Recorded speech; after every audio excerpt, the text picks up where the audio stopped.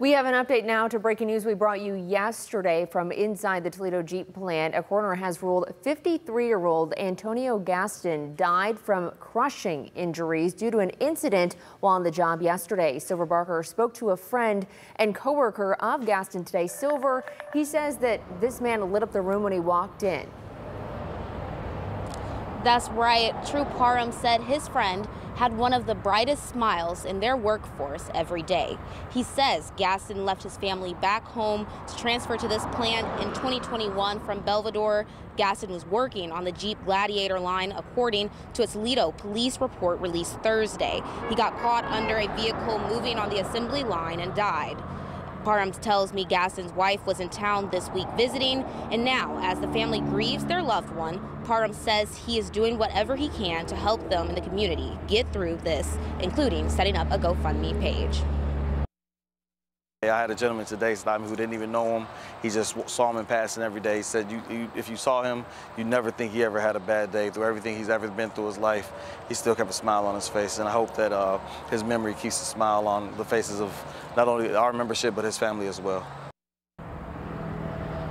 Now, Parham tells me they're also planning to gather on Monday to release sky lanterns at 3.30 p.m. at the plant. Reporting in North Toledo, Silver Barker, WTOL 11.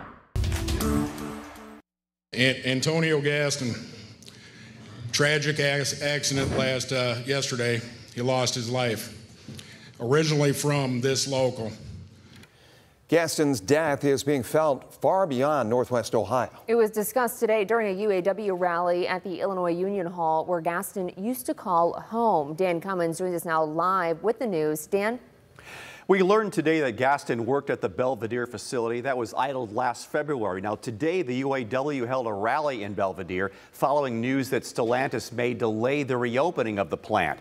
Well, during that rally, UAW President Shawn Fain talked about Gaston, saying his death didn't have to happen. Night, I had a heavy heart when I went to bed. And I woke up today and I was mad as hell. I'm sick and tired of watching our members get sacrificed at the altar of corporate greed. Had to follow his job to uh, Toledo, Local 12. You know, chasing his American dream to stay working until this place got back up and going. You know, the, the, the fight we're doing here to try to reopen this to get these people back home, all I, all I thought about last night was this wouldn't have happened if he was here.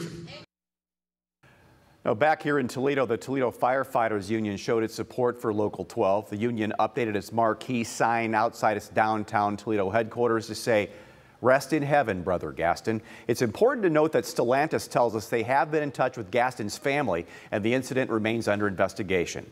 Reporting live, Dan Cummins, WTOL 11.